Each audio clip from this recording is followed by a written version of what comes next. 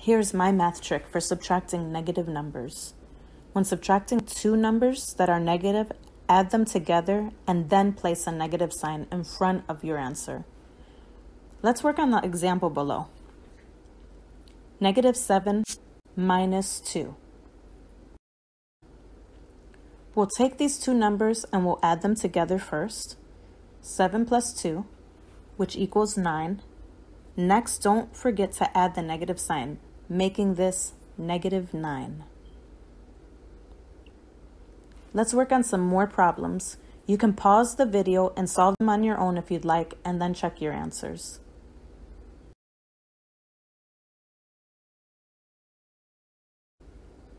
Question 1.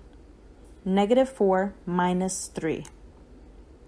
We'll add these two numbers together, 4 plus 3, equals 7.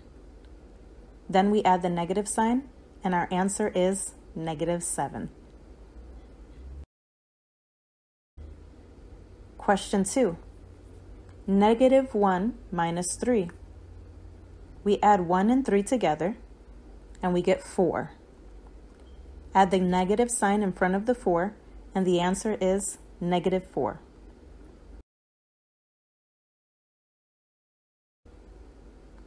Question 3.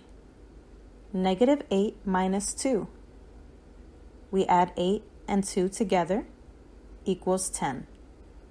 Add the negative and the answer is negative 10.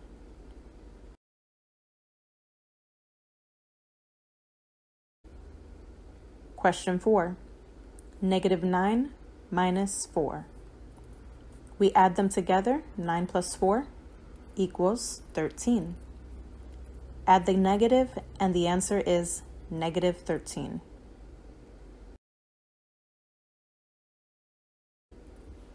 Question 5. Negative 7 minus 6. Add them together, 7 plus 6. This equals 13. Add the negative and the answer is negative 13.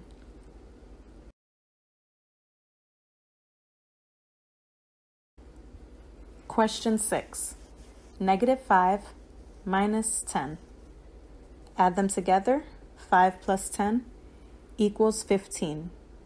Add the negative and our answer is negative 15.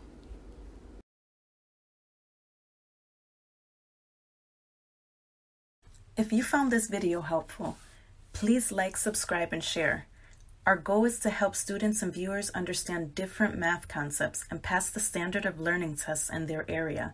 Help us get to a thousand subscribers and reach as many viewers as possible who can benefit from watching this content. Thanks for watching and see you in the next video.